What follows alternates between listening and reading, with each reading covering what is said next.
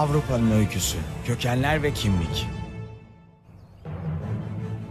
Ben Christopher Clark, Cambridge tarihçisiyim. Avustralya'da doğdum. Avrupalılar için dünyanın diğer ucu sayılır. Ancak Avrupa kıtası ve barındırdığı farklı kültürlere her zaman hayranlık duydum. Yaşadığım çok uzak ülkede bile kökenlerimizin Avrupa'dan geldiğinin ve modern Avrupa'nın insanlık tarihinin en büyük başarılarından biri olduğunun farkındayım. Sizinle bu kıtanın muhteşem tarihini paylaşmak istiyorum. Ve bu yolculukta umarım Avrupa harikalarını kendim içinde yeniden keşfederim.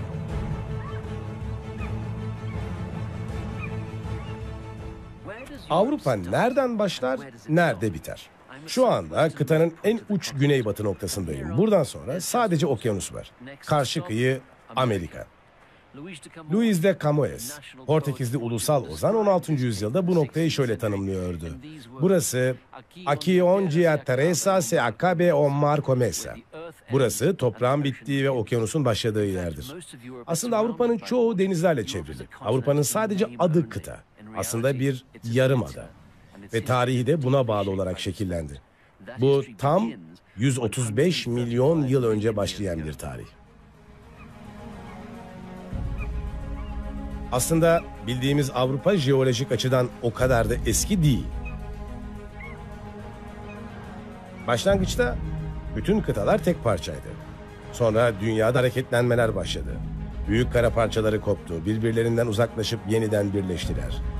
Ve bu süreçte dağlar ve nehirler oluştu. Buz kütleleri fiyortları oluşturdu. Dağlar açıldı ve lav akıntıları Avrupa'ya bugün hala görebildiğimiz yeniden oluşturma ve yaratma gücünü verdi. Ve bir noktada bütün bu güç unsurları gezegenin hiçbir yerinde görülmeyecek eşsizlikte insanları ve kültürleri ortaya çıkaracaktı. Her şey nasıl başladı? Asya bu kısmen daha küçük olan kıtanın hemen yanında ve Avrupa'ya ve buraya gelen ilk insanlara daima bir geçit kapısı oldu. İlk Avrupalılar kimdi peki?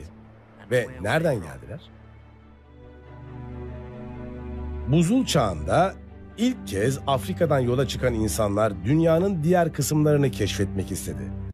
Bugün Londra, Berlin, Varşova gibi kentlerin olduğu yerler kilometrelerce kalın bir buz tabakasıyla kaplıydı. Ama Homo sapiensleri engelleyemedi. Bildiğimiz kadarıyla Orta Doğu'dan, Akdeniz'in doğusundan ve Romanya'dan geliyorlardı. Ve yavaş yavaş Avrupa'da hava ısınmaya başladı.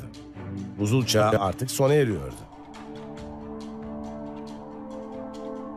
Burası ilk göçmenlerin Neandertal ırkla karşılaşıp onlarla karışmaya başladığı yer. Bugün bile bütün Avrupalıların içinde bir parça Neandertal ırk var. 30 bin yıl kadar önce Neandertal ırk sona erdi ve Homo sapiensler yani akıllı insanlar onların yerini aldı. Avcılık, toplayıcılık yaptılar. Farklı sayıda gruplar halindeydiler ve çok geniş arazilere yayıldılar. Çoğunlukla Güney Fransa ve Kuzey İspanya gibi mağaraların bulunduğu alanlarda yaşadılar. İşte tam bu zamanlarda ilk Avrupalıların kültürel dünyası şekillenmeye başladı. Bu ilk insanlar için mağara derinlikleri kutsal mekanlardı. Doğaüstü dünyanın varlığını hissettikleri tarih öncesi katedraller gibi. Ama her şeyin ötesinde mağaralar ısınma ve koruma sağlıyordu. Erken Avrupalıların hayatta kalmasını sağlayan vazgeçilmez gereksinimler. Burada eski Avrupalıların ilk kanıtlarını görüyoruz. Fransa'da Chauvet mağarasındayım ve 30 bin yıl önce insanların böyle resimler yaptıklarına inanamıyorum. Bu ilk Avrupalı sanatçıların yeteneği ve doğru gözlemleri insanı çok şaşırtıyor.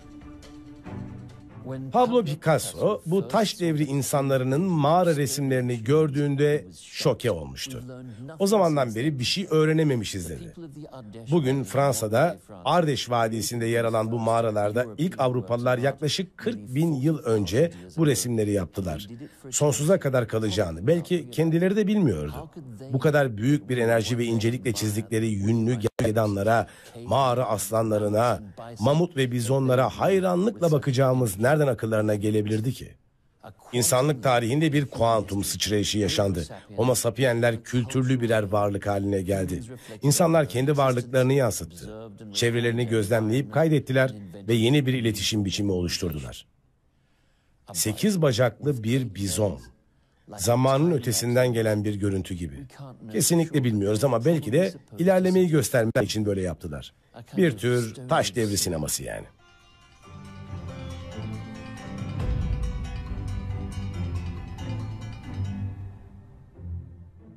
Bunlar dünyada insanların elinden çıkan en erken yaratıcılık örnekleri. Bir tür kültürel Big Bang. Onları bu noktaya neyin getirdiğini bilmiyoruz. Bütün insan toplulukları sanat yaptı ve her zaman yeni bir şeyler ortaya çıktı. Avrupa'daki özellikse hafızayla yenilik, devamlılık ve kopma arasındaki gerginlikti. Michelangelo Yunanları taklit etmiş olabilir ama aynı zamanda yeni bir şey de yarattı. Daha önce hiç görülmemiş bir şey. Manzaralar, nesne ve insanlar yeni bir biçimde görüldü. Sanat otoriteden kaçmadan geleneksel olana isyan etti. Asya ve Afrika'dan gelen resim ve nesneler görsel repertuarı zenginleştirdi. Sınırlar denendi ve geçildi. Herhangi bir şeyi betimleme zorunluluğu ortadan kalktı ve resimler kendi yaşamlarını buldu. Ve bu hayran bırakıcı yaratılış anları kıtanın kültürel çeşitliliği ve aralarındaki rekabet olmasaydı bu kesinlikle gerçekleşemezdi.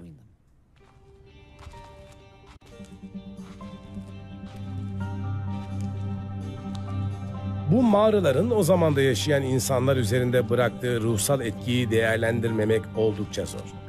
Şimdi bazı mağaraların insanlar tarafından ayinler için kullanıldığını anlamaya başlıyoruz.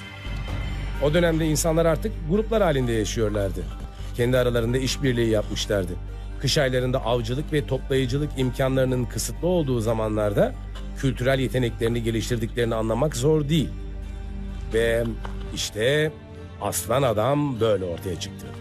35 bin yıl önce bir mamut dişinden oyuldu. Kısmen insan, kısmen aslan, belki de bir yarı tanrı. Önce mağaralarda başladı ama sonra dünyanın her yerine yayıldı. Yaklaşık 5000 yıl önce toplu ayinlerin yapıldığı açık hava mekanları Avrupa'nın her yerinde görülmeye başlandı. İlk yerleşenler devasa boyutlarda kayaları dairesel şekilde yerleştirerek Stonehenge gibi mekanlar oluşturdular. Güneşin hareketlerine göre konumlandı ve temelde gözlem evi olarak kullanıldılar. Bu kayaların taşınması ve yerleştirilmesi o dönem insan için çok büyük bir zorluk olmalıydı. Bu işi yapmak için çok iyi organize olmaları, özel yetenek ve teknikler geliştirmeleri gerekiyordu. Tapılan atalar da burada önemli bir rol oynadı tabii. Atalarının dünyasını sonsuza kadar taşlarla ölümsüz yapmak istediler.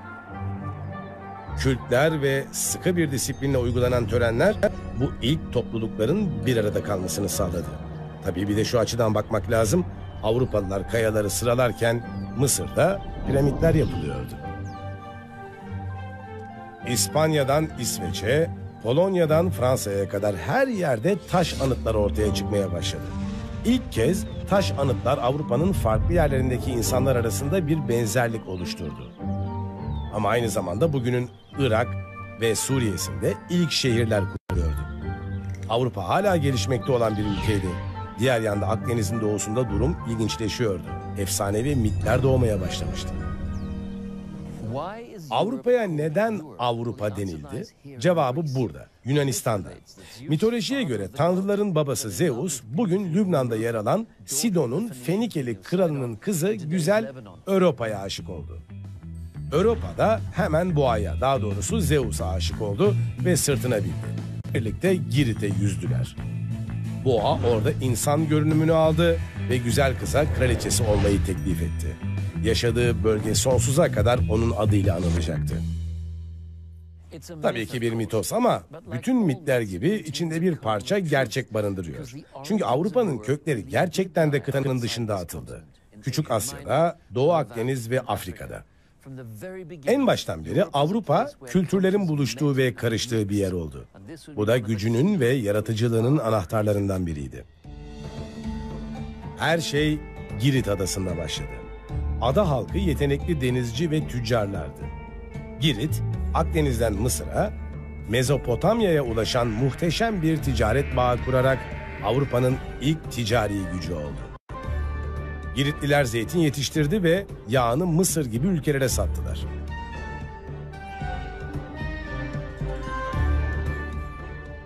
Kral Minos, efsaneye göre Zeus ve Europa'nın oğluydu. 3000 yıl önce Nosos'ta muhteşem bir saray inşa ettirdi. Bugün hala adanın ve Avrupa'daki ilk gelişmiş medeniyet olan Minoalıların altın çağına tanıklık ediyor. Avrupa'nın ilk krallığı burada doğdu. Ama birçok unsur bize Minoalıların kişisel olarak güçle çok da fazla ilgilenmediğini gösteriyor. Bu esrarengiz kültür hakkında bildiklerimiz lider ve kahramanlarının çok da önemli bir rol oynamadığını vurguluyor. Avrupa'nın ilk yasaları ve mahkemelerinin temeli de Minoa toplumunda atıldı. Aile hukukundan ceza hukukuna kadar bütün yasaları kelimesi kelimesine yazıp kaydettiler. Minoalılar okuyup yazabilen ilk Avrupalılardı. Yazım biçimini Fenikelilerden aldılar. Bu Orta Doğu alfabesi bütün Avrupa yazım biçiminin temelidir. Minoalılar sembolleri ünlü Festos diskine kaydettiler. Hem de Johannes Gutenberg modern baskıyı icat etmeden 3000 yıl önce. Eski sembollerin anlamı zaman içinde unutulmuş olabilir. Ama Yunanlar kendi yazı sistemlerini Minoa alfabesinden aldılar. Ve hem Latin hem de Doğu Avrupa Kiril alfabesinin kökenleri eski Yunan'a dayanmaktadır. Gelecek yüzyıllarda Avrupa'nın yolu eski Yunan'ın mirasıyla şekillenecekti.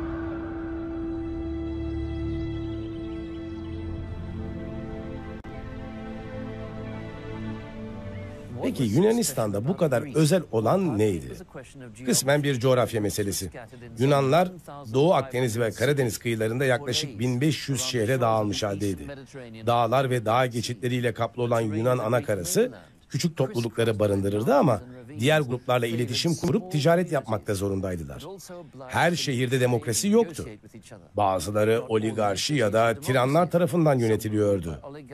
Ama bir şehir dünya tarihinde derin izler bırakacak bir yönetim biçimi geliştirdi.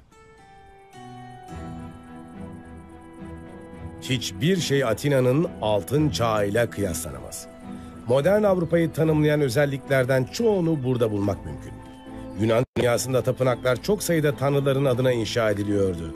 Ama dünya işlerini düşünerek zaman geçiren dahi düşünürler de vardı tabii ki.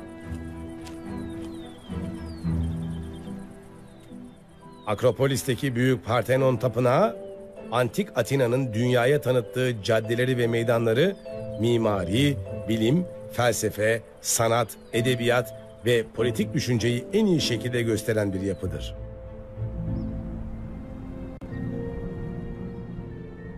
Atina bir kral tarafından değil, halk tarafından yönetiliyordu. Hem de kıtanın tarihinde ilk kez. Bütün erkekler herkesi etkileyecek kararlarda sorumluluğu paylaşıyordu. Kadınlar henüz politikada yer almıyordu. Ama bir başlangıçtı ve demokrasi doğdu. Sakin olun. Teklife karşı gelenler elini kaldırsın. Ve şimdi de teklife evet diyenler elini kaldırsın.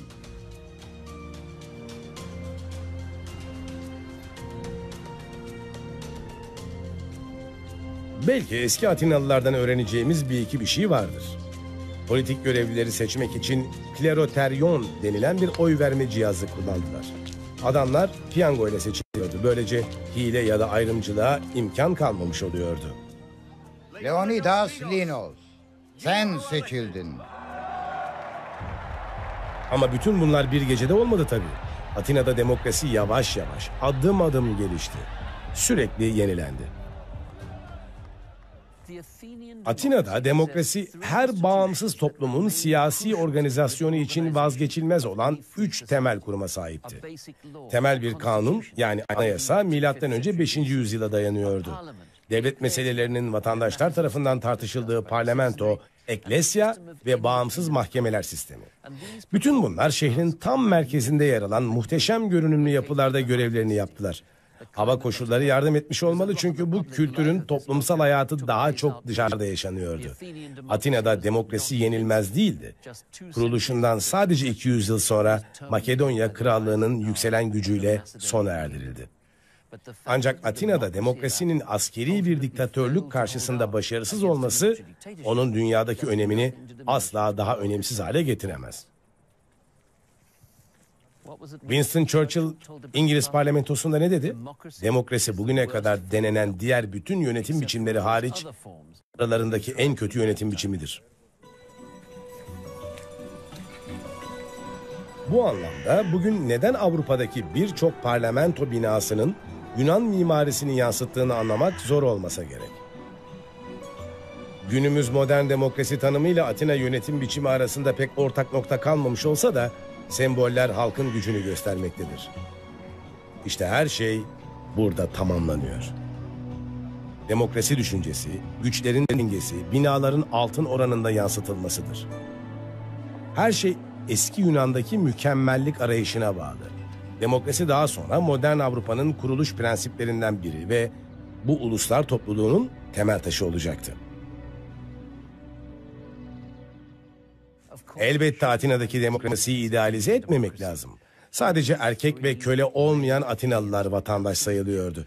Kadınlar ve kölelerin hiçbir politik hakkı yoktu. Bu demokrasi de bütün demokrasiler gibi düzensiz ve ucu açık bir uygulamaydı.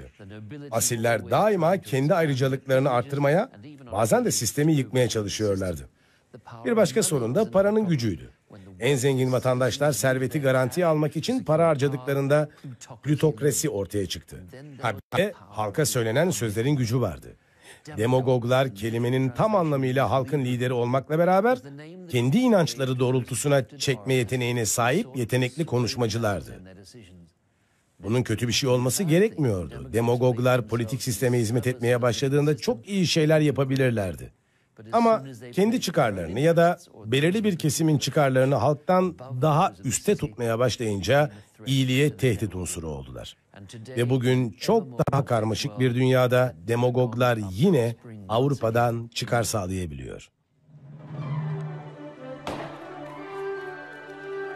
Maraton, bütün zamanların en demokratik spor etkinliği. Genç, yaşlı, şişman, zayıf herkes katılabiliyor. Dünyanın her yerinde milyonlarca insan maraton heyecanına kapılıyor. Bu uzun mesafeli koşu adını Yunanistan'daki küçük bir kasabadan almaktadır. Tarihin ilk maraton koşucusu tamamen yalnızdı. Filipedes adındaki biri Yunan ordusunun çok daha büyük Pers ordusunu kritik bir savaşta yendiğini haber vermek amacıyla Maraton kasabasından Atina'daki pazar meydanına yaklaşık 40 kilometre koştu. Sonra da yere düşüp öldüğü anlatılıyor ama ölmeden önce Perslerin yavaşça şehre yaklaştığını haber vermeye de zamanı kalmıştı.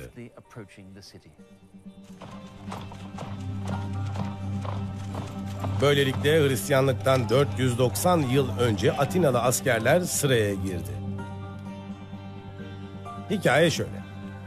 Dönemin küresel süper gücü, sürekli genişleyen Pers İmparatorluğu rakip Korint, Sparta ve Atina şehirleri tarafından tehdit altında olduğunu hissetti. Yunanlar bu ortak düşman karşısında birleşti ve önlem alıp birlikte hareket etti. İlk kez Avrupalı olduklarını hissettiler. Ana vatanlarına Avrupa demelerine rağmen bu kimlik paylaşılan bir kaderden doğmuştu. Atina Perslileri yendi. Savaş devam etti. Ama kıtanın geleceği maratonun tozları arasında şekillendi. Maraton zaferi Yunan demokrasisi adına belirleyici bir andı. Birlik ve kendine güven sayesinde neler başarabileceklerini gördüler. Ve tarihte birçok kez olduğu gibi demokrasinin kaderi yine savaşa bağlıydı. Her şeyin ötesinde maraton zaferi politik hayata halktan gelen katkının çoğalmasıyla devletin çarpıcı gücünün artacağını kanıtlamış oldu. Tanrılar da kendi paylarını aldı tabi. Zafere olan minneti göstermek amacıyla şehir her yıl öldürülen Persli sayısına eşit olarak 500 keçi kurban etti. Şimdi bu zaferin hikayesinden Hollywood'da gişe rekortmeni bir film çıkar. O zaman da hemen sahneye uyarlanır. Evet doğru. Atina aynı zamanda eğlence sektörünün de doğum yeridir. Yunanlar Homeros zamanından beri kahramanlık öykülerini sevdiler ve Pers Savaşı da onlardan biriydi. Oyuncular eski düşmanlarının karakterini canlandırırken bütün Yunanların gurur duyduğu bir zaferi yeniden yaşadılar. Boyun eğmeyin ve unutmayın başınız dik göğsünüz dışarıda olsun. Eschylus oyunun yazarı. Aynı zamanda Maraton Savaşı'nda dövüşmüş bir asker. Şimdi sıra sizde. Yazar genç politikacı Perikles'in de desteğiyle Atina'da her yıl şarap ve neşe tanrısı Dionysos onuruna düzenlenen tiyatro yarışmasını kazanacağını ümit ediyordu. Eschylus savaş meydanında çok büyük bir zafer kazanamamıştı ama bu oyun sayesinde adı ölümsüzleşti. Oyun savaşın anlamsızlığını ve korku, çaresizlik, ölüm ve matemden başka bir şey getirmediğini vurgulamaktadır. Hikayeyi kaybeden tarafın gözünden Perslerin kaybını aşağılamadan anlatır. Bu şekilde izleyiciyi eğitmeyi ümit etmektedir. Atina halkı da onun bu mesajını anlamıştır. Persiler birincilik ödülünü kazandı. Tarihte bugüne kadar gelen ilk tiyatro eseridir.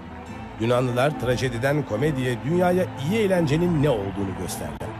Anlatım biçimleri zamana rağmen ayakta kalmayı başardı. Ve Avrupa'nın kurulmasına yol açan Pers savaşlarının anlatıldığı oyun bugün hala düzenli olarak sahnelenmektedir. Sanat, mimari, politik düşünce, Antik Yunan'da toplum seçkin ve açık fikirliydi. Yüzyıllar boyunca Avrupa kültürel kaynağından defalarca çekildi. İşte Avrupa medeniyetinin kökleri burada yatıyor. Ama Yunanistan dışında henüz kimse kendini Avrupalı olarak tanımlamıyordu. Peki eski Yunanlar kültürlerini nasıl yaydı? Ve Yunan kültürü nasıl Avrupa kültürü haline geldi? İsa'nın doğumundan 400 yıl önce Makedonya kralı İskender, daha sonra Büyük İskender olarak bilinmişti. Sparta dışında bütün Yunan şehir devletlerini fethetti. Yunan kültürünü dünyaya yaymak istedi. Bir dünya imparatorluğu kurdu.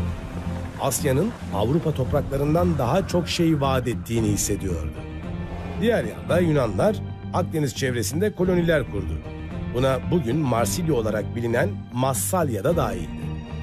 Kaşif Piteas, İsa'nın doğumundan 400 yıl önce buradan yola çıktı. Büyük İskender'le aynı zamanda yaşamış olan Piteas, Kuzey Avrupa'yı keşfetmek istiyordu. Onun keşifleri sayesinde Yunanların dünyayı algılama biçimleri değişti. O zamana kadar en kusursuz ve akıllı insanların sadece Akdeniz'de olduğuna inanıyorlardı. Ama sonra Piteas Keltlerle tanıştı ve yeni bir güç sahneye çıktı. Keltler birleşik bir halk değildi. Bir imparatorlukları da yoktu. Bunun yerine çok sayıda kabileler halinde yaşıyorlardı ama paylaştıkları gelenekleri vardı. Tehdit edildiklerinde bir araya geliyorlardı ama bu da bir Avrupa sayılır diyebilirsiniz. Aslında İsa'dan önce 1. yüzyılda Keltler yaşadıkları topraklarını Orta Avrupa'dan Anadolu'ya ve Britanya'ya genişlettiler. Kültürleri büyüyüp genişlemeye devam etti. Milattan önce 350 civarında.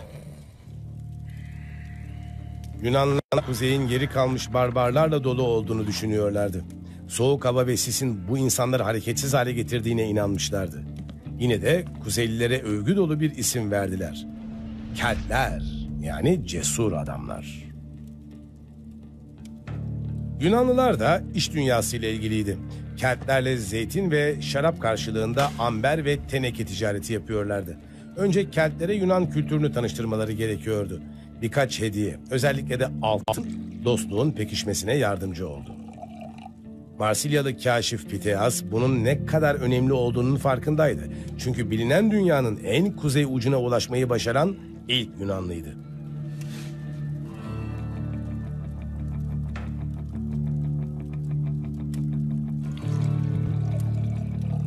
Keltler sadece güçlü savaşçılar değildi. Yetenekli metal işçisiydiler. Yavaş yavaş Akdeniz yaşam tarzına ait bir zevk geliştirdiler. Özellikle de şarap konusunda. Yetişkin bir insan boyunda olan bu vazo Yunanistan'dan geldi ve Kelt bir kabile reisinin mezarıydı. Çok sık rastlanan içki boynuzları Keltlerin bastırılamaz susuzluğunun bir kanıtıydı. Alp dağlarının kuzeydeki ilk şehirleri kuranlar Keltlerdi. Hem de yaklaşık 150 kadar şehir. En ünlülerinden biri Hoyneburg, bugünün Güney Almanya'sında yer almaktadır. Edebiyatta sözü edildiği kadarıyla Alplerin kuzeyinde kalan en eski Kelt yerleşim bölgesi. Yunan tarihçisi Herodot bile bu şehirle çok ilgiliydi. İsa'dan önce 600 yılında kurulan Hoyneburg, Kelt liderlerinin şehriydi. Düşmanı uzaklaştırmak için zekice surlar tasarlanmıştı. Keltler bu yüksek duvarların ardında hayatlarını dikkatlice organize etti. Kendi paraları ve bir iş bölümü sistemleri vardı. Bu eski şehir örneğinde 10 bin kadar insan yaşıyordu. Keltler buradan Yunanlılarla ve Piteas'ın ana vatanı Marsilya ile ticaret yaptılar.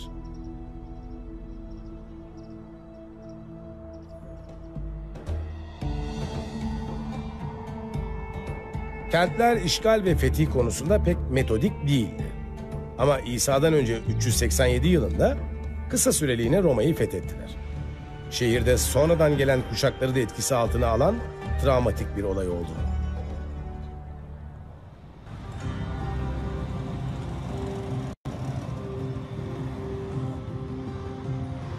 Imperium Roman, Roma İmparatorluğu. Bizim modern Avrupa anlayışımızın tam bir örneği değil tabi. Ama bugünün Avrupa'sının kökleri kesinlikle Roma'dan gelmektedir. Cumhuriyet fikri, yasalar, mimari alanda Romalılar birçok şeyi Yunanlıların yaptığının çok daha üstünde yapabildiler. Pantheon buna iyi bir örnektir. Yunan tarzı yüzeyin arkasında Avrupa'nın en eski ve en büyük kubbelerinden biri yer almaktadır. Ve çimentodan yapılmıştır. Bunların ikisi de Roma buluşu. Hayatın her alanında Romalılar Yunanlılardan ilham almıştır. Ama kendi gelişmelerini de sağlamak istemişlerdir. Hırslı olan Gaius Julius Caesar da bir istisna değil tabii. Kendisi için parlak bir gelecek görüyordu. Büyük İskender gibi bir fatih olmayı hayal ediyordu. Ama tarihe geçmeden önce Romalı bir memur olarak basamakları çıkmak zorundaydı. Hem de uzun ve zorlu bir yolda. Hırsları için masraftan kaçınmadı. Büyük miktarlarda rüşvet verdi. Konsül oluncaya kadar Sezar büyük bir borca batmıştı bile. Şimdi lazım olan şey bir savaştı. Ve hem öğretini parlatacaktı hem de kasaları dolduracak bir yağma seferi olacaktı bu. Ama Sezar'ın bir sorunu vardı. Yağmalanacak fazla bir şey kalmamıştı. Ondan önceki idareciler Akdeniz'de rekabeti bitirmişti zaten. Tek seçeneği Vahşi Kuzey Avrupa'ydı. Keltlerin ya da Romalıların verdiği isimle Galyalıların ülkesi. Keltlerin Roma'yı işgalinden 300 yıl sonra Sezar barbarlara kimin patron olduğunu göstermeye hazırdı artık.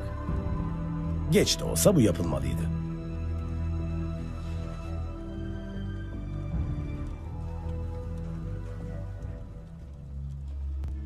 İşte bu da bizi her Latince öğrencisinin yaşadığı bir yıkıma getiriyor.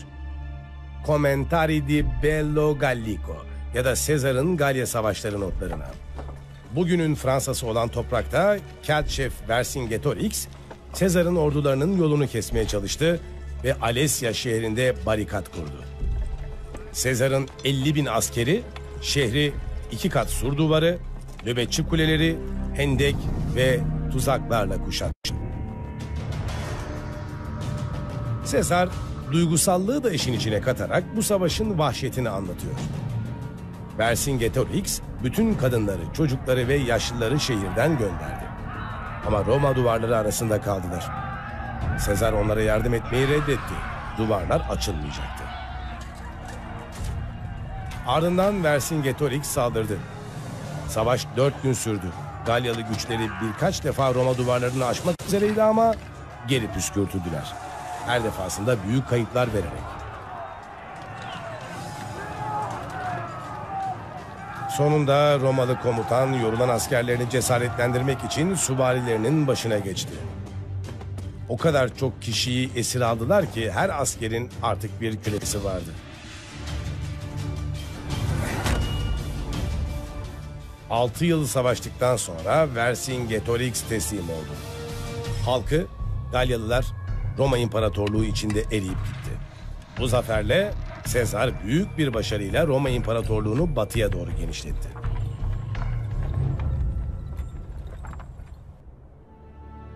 ...19. yüzyılda Galyalı Vercingetorix Fransız Çağdaş Fransa'da ülkenin birliğini sembolize etmesi nedeniyle bir anıtı hak eden ulusal kahraman olduğu sonucuna varıldı.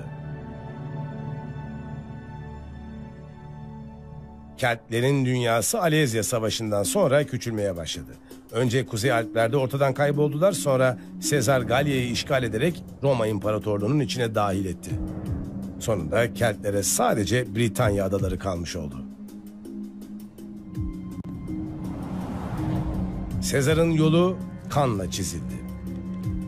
Kendi adına bir milyon insanın hayatına mal olmuştu.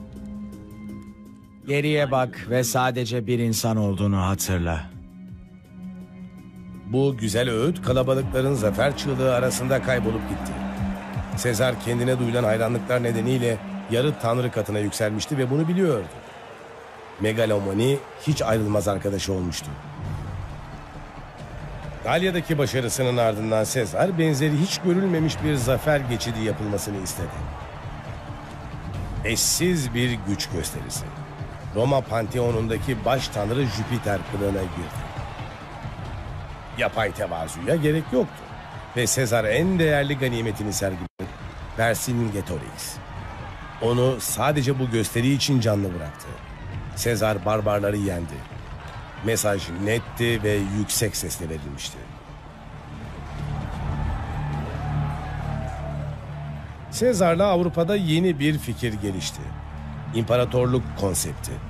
O zamana kadar Roma asiller tarafından yönetilen bir cumhuriyetti ama senatörler bütün kontrolü ona bırakarak ömür boyu diktatör olmasını sağladılar.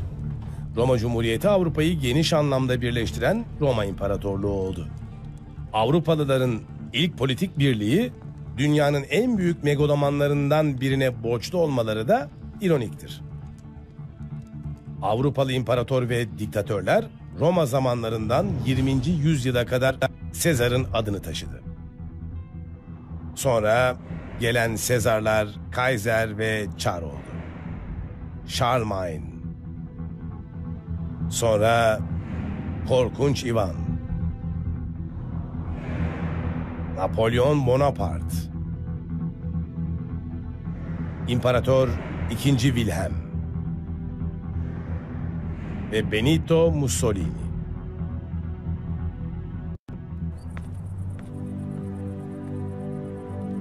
Sezar'ın manevi oğlu ve varisi Augustus, gerçek ve sağlam bir imparatorluk fikrini ilk kez geliştiren kişiydi. Ve onun yönetimi altında insanlar bir kıtayı idare etmenin ne anlama geldiğini öğrendiler. Bu da Avrupa'nın her yerindeki vatandaşlarıyla mükemmel bir iletişim kurmasını sağladı. Bu forumu yaptıran Augustus, halkla ilişkiler konusunda uzmandı. Pazarlamanın gücünü çok iyi anlamıştı. Burada bir parada onun resmini görebilirsiniz. Böylece Avrupa tarihinde ilk kez bir yöneticinin resmi milyonlarca defa elden ele dolaştı. Augustus, Andy Warhol'un 20. yüzyıl görüşünü önceden sezmişti. Kendini göster. Fotoğrafını çek, kendini büyüt ve fotoğrafını dünyanın her yerine gönder. Facebook, Instagram pek de yeni sayılmazlar demek. Gücü artarken Augustus'un resmi de değişti. Başta yüzü hala cumhuriyet ve devlet işleri için endişelenen bir politikacının çizgilerine sahipti. Sonradan o çizgiler kayboldu ve sonraki paralarda basılan resmi tamamen endişesiz, zamansız ve tanrı görünümündeydi. Burada basılan resim Augustus ve danışmanları tarafından titizlikle düşünülüp tasarlanmıştı. Mesajda dünyayı yönetiyorsunuz diyorlardı. Bu sizin göreviniz. Roma tarzı medeniyetin sunduğu konforlar Greko-Roman medeniyetinin başarılı olmasını sağlayan unsurlardan biriydi. Romalılar her yerde koloni kurdu.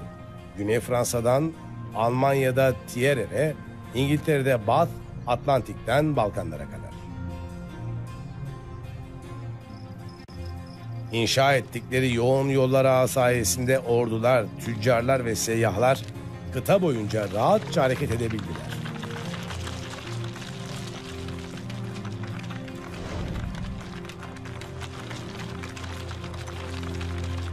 Roma yolları Avrupa boyunca binlerce kilometrede kesişti. Romalılar bütün bir kıtayı organize etmişlerdi. Avrupa'yı kendi imparatorlukları, kendi dilleri ve kendi yasalarıyla birleştirmeyi başardılar. Kısa süre içinde Roma yasaları insanların günlük hayatlarından her türlü anlaşmazlığın çözümüne kadar Avrupa'da her yerde geçerli oldu.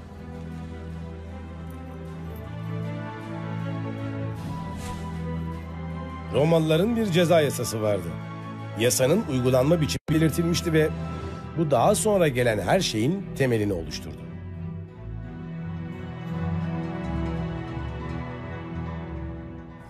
Roma vatandaşlığının çok büyük bir birleştirici gücü vardı.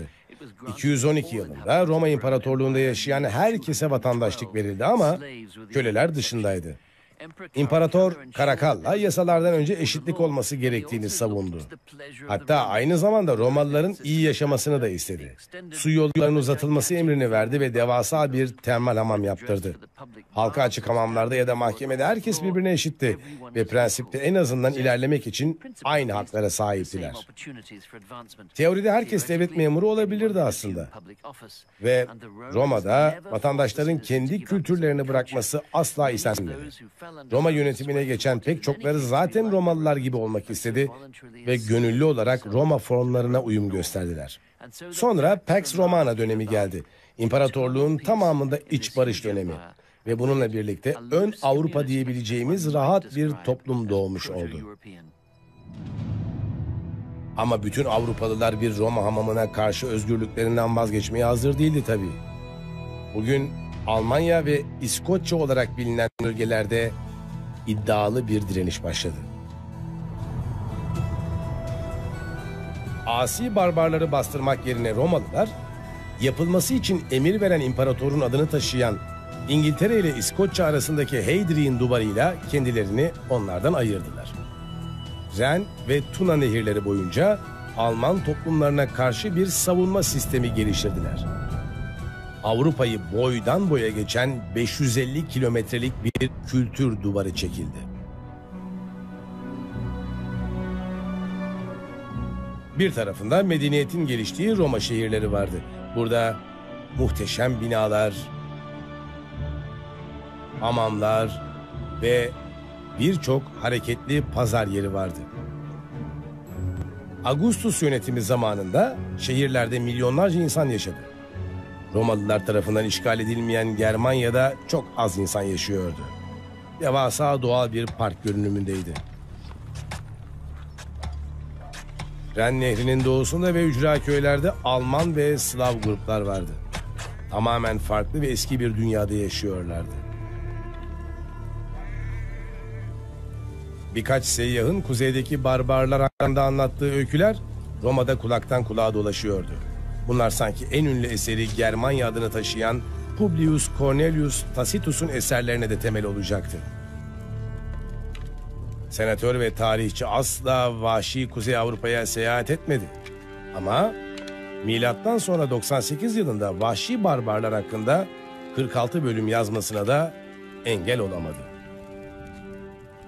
Giysilerinin kirli olduğunu, basit yemekler yediklerini, ve o zamanlar Roma'da henüz bilinmeyen bira diye bir şeyi sürekli içtiklerini söylüyordu.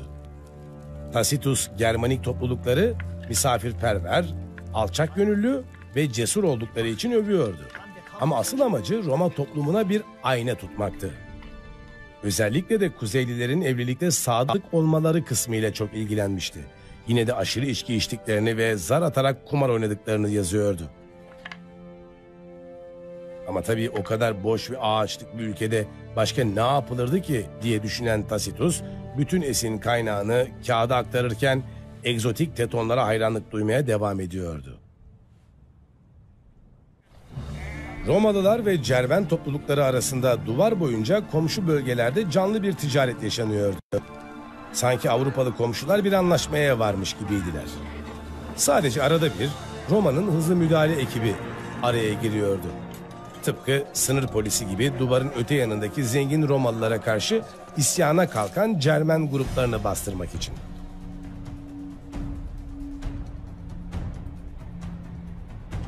Ancak duvarlar ve engeller kalıcı bir çözüm değildir. Ve Romalılar bunu zor yoldan öğrenmiştir. 4. yüzyılda göçebe Asya kabileleri Avrupa'yı işgal ettiğinde eski kurallar ufalanıp gitti. Romalı asker ve tarihçi Amanius Marcellinus, Hun halkının gelişini anlatırken başkalarının sahip olduğu her şeyi yağmalamaya karşı büyük bir açlık duyduklarından bahsediyordu. Ve yakınlarındaki tüm komşuları katlediyorlardı.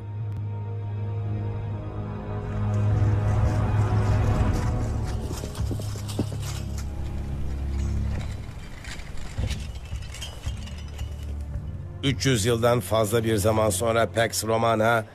...Roma'nın kendi içindeki barış devri sona eriyordu. Cermen grupları mülteci ve işgalci olarak imparatorluğa inmeye başladı. İlk mülteciler Gotlardı ve 376 yılında Tuna Nehri'ni geçtiler. Onları diğer Cermen gruplar izledi.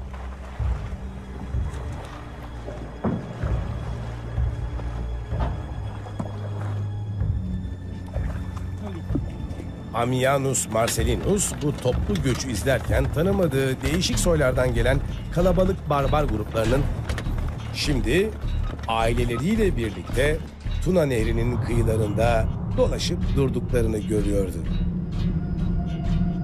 Başta bu zeka halkımız tarafından hafife alındı diye yazıyor. Aslında Romalılar yavaş yavaş kontrolü kaybetti. Önce sınırlarda, sonra imparatorlukta.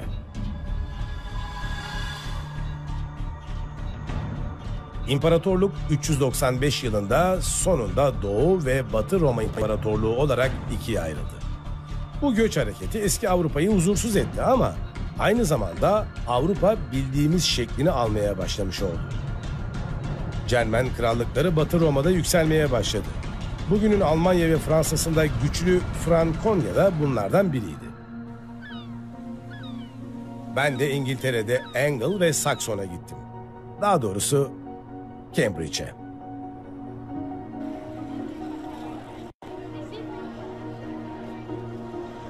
Cambridge Kartalı.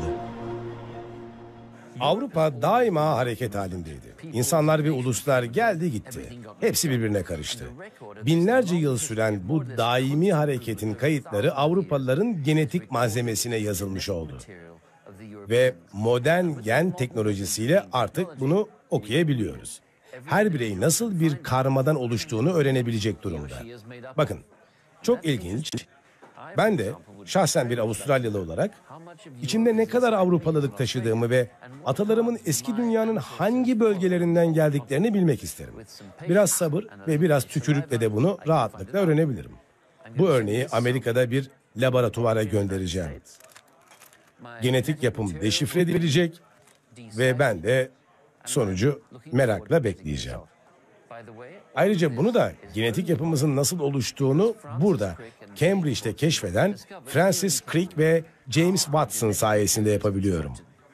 Buluşlarını ilk kez 1953'te bu pub'da halka açıklamışlardı.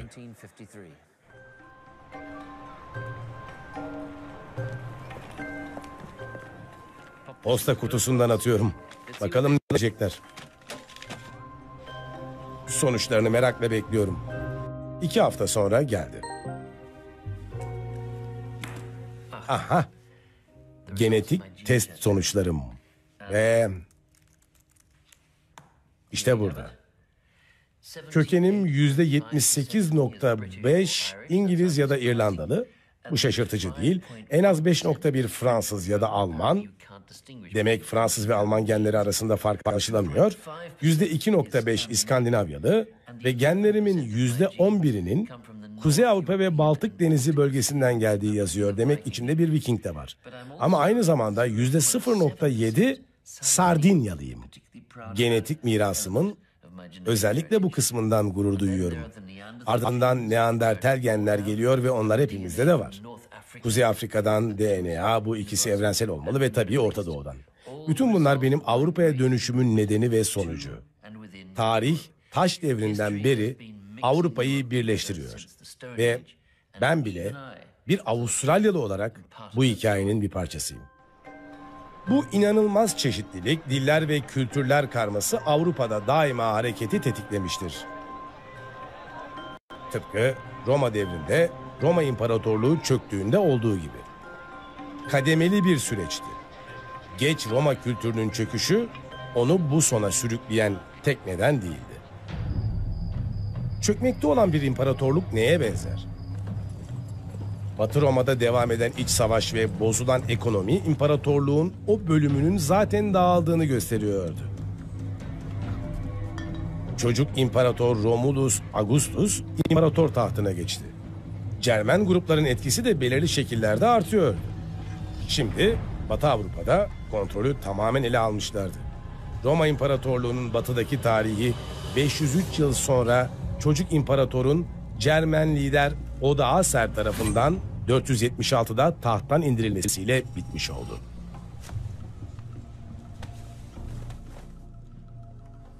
İmparatorluk sancağını Bizans'a götür. Doğu Roma İmparatoruna buna artık ihtiyacımızın kalmadığını söyle. Burada gerek yok. Bundan sonra benim yeni bir ünvanım olacak. Rex İtali. İtalya'nın kralı.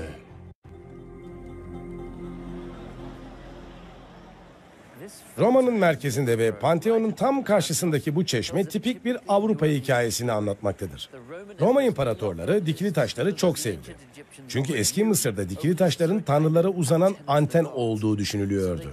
Bu nedenle örneğin 2. Ramses zamanından kalma bir dikili taşı bu sonsuz şehre getirdiler. Bin yıl sonra Papa 6. Clement buraya dikilmesini sağladı. Ve tepesine haç biçiminde bir anten daha ekledi. Ve burada da armasını görebilirsiniz. Yunuslar daha sonra barok dönemde eklendi ve ruhların kurtarıcısı İsa'yı temsil ediyorlar. Ve tabii çeşmenin içinde su var. Nehir tanrılarına ve bahar perilerine tapınma Yunanlar arasında çok yaygın bir inançtı. Ve filozof Plato için su daima temsili bir işlev üstlenmiştir. Plato ideal bedeni bütün kaynaklardan fışkıran ve akan berrak suya benzetmiştir. Ve bu çeşmeyi Avrupa ile kıyaslamakta oldukça mümkün. Geçmişinde olanlar sürekli yeni bir şeyle karışıyor. Bu dinamik karışımdan çok büyük şeyler doğabilir. Peki geriye kalan ne? Bence Pantheon devasa kubbesiyle Roma'nın en güzel binası. Hiçbir şey Avrupa'nın tarihindeki iniş ve çıkışları bunun gibi anlatamaz. Bir kez daha oraya gitmek istiyorum.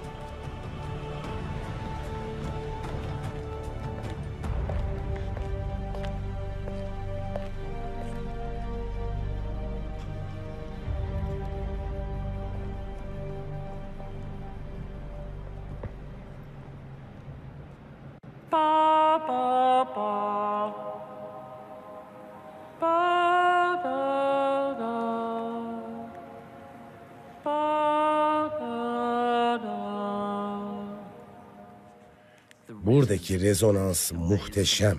Burayı nefes kesen bir tapınak haline getiriyor. Michelangelo Roma'da Pantheon'u ilk kez gördüğünde böyle bir mimari şaheserin ölümlü ellerden çıkabileceğine inanmamıştır. Bu işi ancak melekler yapabilir demiştir. Belki de haklıydı çünkü bu tetonların Roma'daki yıkımına ve birkaç depreme rağmen neden ayakta kaldığını ancak bu şekilde açıklayabiliriz. Ama yine de tetonların yıkıcı gücü Avrupa'nın sonunu getirmedi. Tam tersine bugüne kadar ayakta kalan Avrupa kültürlerinin de temelini atmıştır. Çünkü antik Yunan ve Roma kültürlerini yok etmek yerine Cermen savaşçılar bu mirası yeşertmiştir. Ayrıca bir unsur daha vardı. Hristiyanlık. Avrupalıları birbirine bağlayacak ama inançları arasında acı bir ayrılığa neden olacak.